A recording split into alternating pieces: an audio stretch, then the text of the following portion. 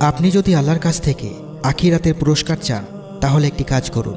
অন্যরা কি করে সেদিকে নজর না দিয়ে নিজের প্রতি মনোযোগী হন। অন্যের বিচার করতে যাবেন না।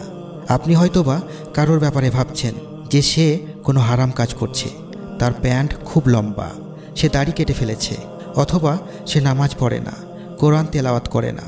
শুধুমাত্র তার বাহ্যিক বিষয়গুলো লক্ষ্য করে তার বিচার করতে যাবেন না। আপনাকে বিচার করার জন্য দুনিয়ায় পাঠানো হয়নি। কে জান্নাতে যাবে বা না যাবে, এসব বলার অধিকার আপনার নেই। কিন্তু আপনি যদি এমন কিছু দেখেন যা ইসলামের বাহিরে, তাহলে তাকে সুন্দরভাবে নাসিহা দিন, গোপন উপদেশ দিন এবং চলে যান। এই প্রসঙ্গে আমি আপনাদের একটি সুন্দর ঘটনা উল্লেখ করতে চাই। আলুসি রাহিমাহুল্লাহ থেকে বর্ণিত হয়েছে একটি সুন্দর ঘটনা এবং এটি এমন কিছুর সঙ্গে জড়িত যা আমরা অনেকেই পালন করি না। আলুসি রহিমাহুল্লাহ বলেন, এক ইমাম আমাকে বললেন কোনো এক রাতে তিনি এশার নামাজের পর ঘুমাচ্ছিলেন। তিনি স্বপ্নে রাসুল সাল্লাহু আলাইসাল্লামকে দেখলেন এবং রসুল সাল্লাহু আলাইসাল্লাম সেই ইমামকে বললেন, হে ইমাম, তোমার অমুক প্রতিবেশীকে বলো, সে জান্নাতে আমার প্রতিবেশী হবে। তখন সেই ইমাম মনে মনে ভাবল, রসুল সাল্লাহু আলাইসাল্লাম আমাকে কেন বললেন না? আমি ইমাম, আমি হাফেজ, আমি আলেম, আমি মুফতি। কিন্তু তিনি রসুল সাল্লাহু আলাইসাল্লাম এমন এক সাধারণ মানুষের ব্যাপারে বললেন, যাকে আমি চিনি, সে নিয়মিত বাহিরে থাকে এবং রাস্তায় কেনাবেচা করে উপার্জন করে। সে কোনো ইমাম, আলেম বা মুফতি নয়। সে খুবই সাধারণ ব্যক্তি। তাহলে কেন সে জান্নাতে রাসুলের সাহায্যার্যে থাকবে? ইমাম বললেন, আমি আশ্চর্য হয়ে গেলাম এবং নিজের মাঝেই তা গোপন রাখলাম। কিন্তু পরের রাতেও সেই একই ঘটনা ঘটল। পরপর তিন রাত রাসুল সাল্লাহু আলাইসাল্লাম স্বপ্নের মধ্যে আমার কাছে আসতে থাকলেন। যতক্ষণ না আমি সেই লোকের সাথে সাক্ষাৎ করি। এক পর্যায়ে আমি সেই লোকের সঙ্গে সাক্ষাৎ করলাম এবং তাকে বললাম, রাসুল সাল্লাহু আলাইসাল্লাম পরপর তিন রাত আমার কাছে আসলেন এবং বললেন, জান্নাতে আপনি তার প্রতিবেশী আপনি এমন কি করলেন? কিসের জন্য আপনি এই মর্যাদা পেলেন যে আপনি শুধু জান্নাতিদের একজন না, বরং রাসুল সাল্লাহু আলাইসাল্লামের প্রতিবেশী হয়ে গেলেন? অনেক কথাবার্তার পর লোকটি বলল এটি খুব বড় একটি ঘটনা। কিন্তু আমি সংক্ষেপে বলছি, আমি এক সুন্দরী যুবতী মহিলার সাথে বিবাহ বন্ধনে আবদ্ধ হয়, যার পিতা সমাজের একজন মর্যাদাবান ও শ্রদ্ধেয় ছিলেন। আমাদের বিয়ের রাতে আমার স্ত্রী খাটের উপর বসে কান্না করছিল। আমি তখন ভাবলাম, সে হয়তো লজ্জায় কান্না করছে।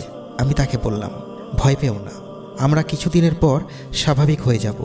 আমার স্ত্রী তখন বললেন, না, আমি এই কারণে কান্না করছি না। সে বলল জেনা করার কারণে আমি গর্ভবতী হয়েছি। লোকটি বলল, আমি বুঝলাম না। আমি এখন কি করব। আমি যদি তার সবাইকে বলে দিই, তখন এই শহরের সবাই তাদের ব্যাপারে জেনে যাবে এবং তার বৃদ্ধ পিতা সকল সম্মান ও মর্যাদা হারাবে। তাই আমি সব গোপন রাখলাম আর নিজের গুনাহের সমূহের দিকে তাকালাম। আল্লাহর কাছে ও তার জন্য ক্ষমা চাইতে থাকলাম এবং আমি একটি কাজ করলাম। আমি তাকে ঘরে রেখে দিলাম। এক পর্যায়ে শেষ পর্যন্ত এক রাতে সে বাচ্চা প্রসব করল। আমি সেই বাচ্চাকে নিয়ে নিলাম এবং বললাম, আমাকে বাচ্চাটি দাও। আমি এই বাচ্চাকে আবার তোমার কাছে ফিরিয়ে দেব। সে এক ফুটফুটে ছেলের জন্ম দিয়েছিল। আমি সেই বাচ্চাটিকে নিয়ে ফজরের নামাজে মসজিদে গেলাম এবং ইচ্ছা করেই মসজিদে দেরি করে গিয়েছিলাম। আমি বাচ্চাটিকে মসজিদের ভেতরে রেখে জামাতে সামিল হলাম। এটি নিশ্চিত করে যে আমি বাচ্চাটিকে দেখতে পাচ্ছিলাম।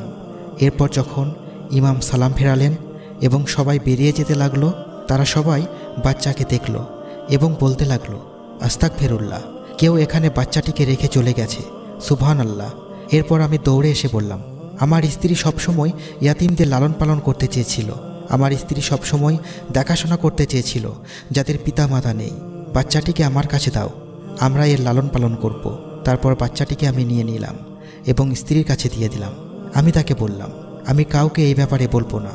কিন্তু আমি তোমাকে বলছি, কারণ আমি জান্নাতে রসুল সাল্লাহু আলাইসাল্লামের সাথে থাকার পুরস্কার পেতে চাই।